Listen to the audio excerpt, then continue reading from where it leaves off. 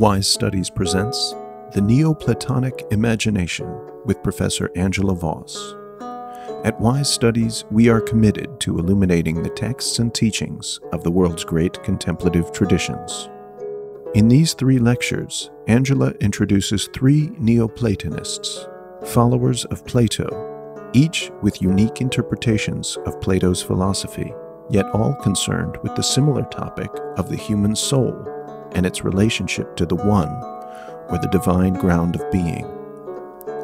In this first session, Angela introduces the most well known of the Neoplatonists, Plotinus, one of the first philosophers to exalt the power of the imagination to its role between heaven and earth.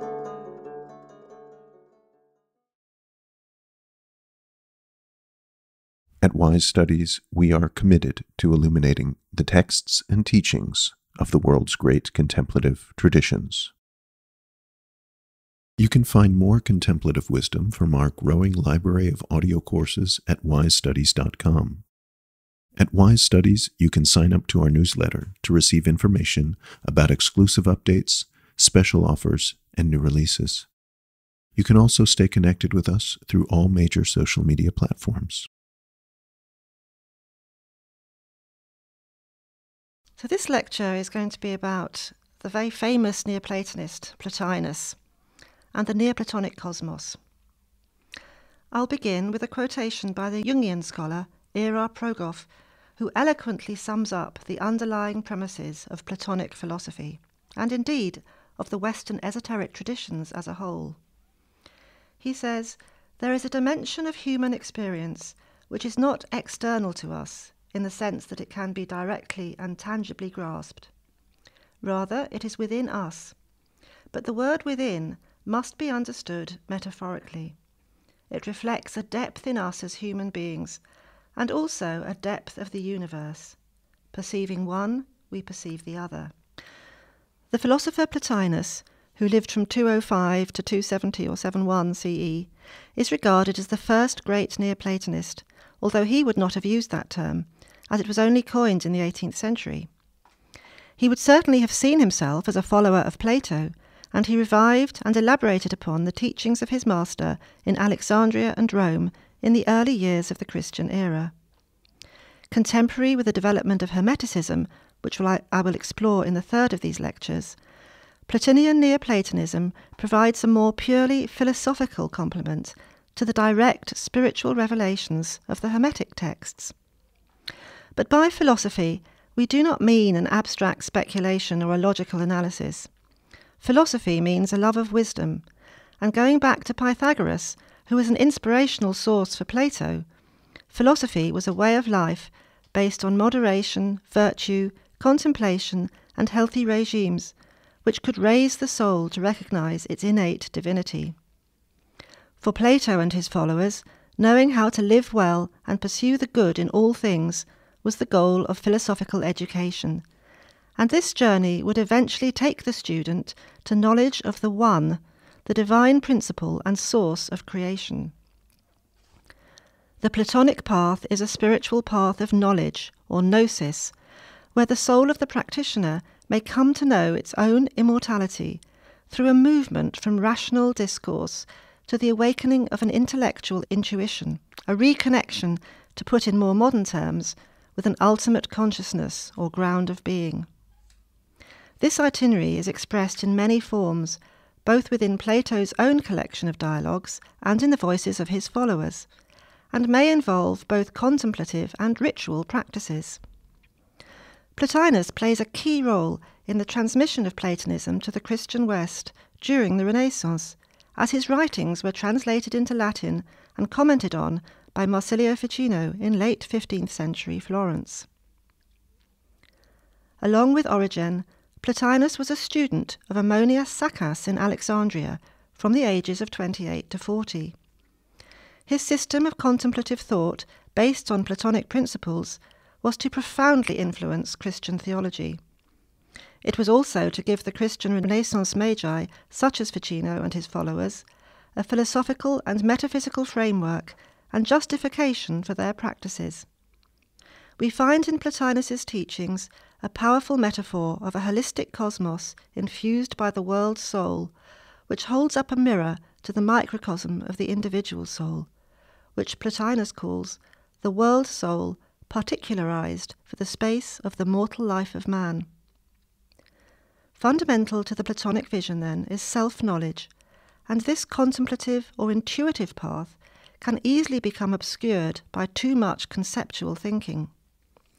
For the human is two, as it were a rational mind, perhaps what we would call an embodied ego, and something other, far greater, more mysterious, more ineffable, and infinitely wise.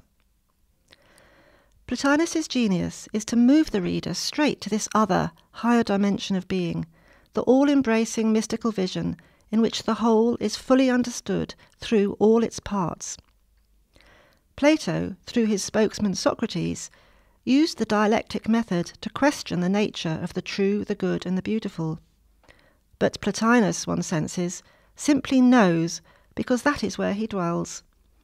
His standpoint as a mystic philosopher can be daunting for the reader because he demands nothing less than complete authenticity and ruthlessly examines all perspectives in order to establish unassailable arguments about the nature of reality.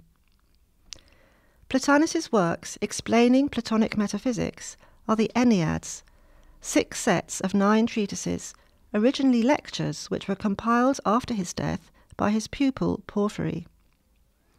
Their scope is immense the writing dense and concentrated, and they reveal Plotinus to be a contemplative thinker of the highest order. He is not interested in the social or political aspects of Platonism, but in the salvation of the soul through the deliberate cultivation of a higher consciousness, the striving of the individual soul to unite with its divine dimension. His last words were purported to be Strive to bring back the God in yourselves to the divine in the universe. The reuniting of the particular soul with the universal soul, or anima mundi. We also find in Plotinus a fundamental characteristic of esoteric thought knowledge of the divine gained through analogy, correspondence, and symbol. This is, according to Plotinus, because the whole of creation has inner laws of sympathy and harmonic resonance if one has the eyes to see. All teems with symbol, he says, and the wise man is the one who in any one thing can read another, a process familiar to all of us in not a few examples of everyday experience. And take this statement Man is not the centre of the universe, the universe is the centre of man. At once we are in a reality which is simultaneously internal and external, Human imagination has no limits. It can embrace the cosmos and beyond. This cosmos, however, is not a literal, purely objective world as we now know it, but implies a sense of participation in a greater whole which can only be expressed metaphorically. Recognizing this, the philosopher takes responsibility for his own salvation and needs no intervention of a saviour. Prayer is not an appeal to an external being, but a tension of the soul, which, so to speak, draws up the divine part of the individual to divinity itself.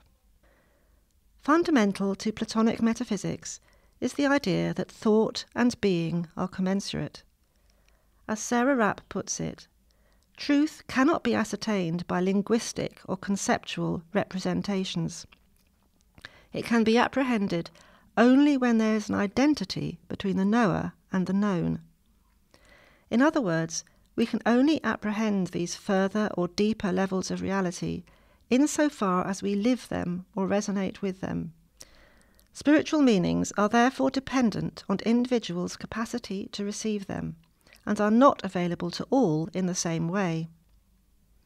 There is the added difficulty in communicating these insights which transcend the capacity of language constructs. To quote Rappe again, in genuine self knowledge, language arises afterwards as an awkward translation of a truth whose essence is to break free of discursive structures. One can begin to see how a language of image. We hope you enjoyed this preview. To continue listening to this audiobook on Google Play Books, use the link in the video description.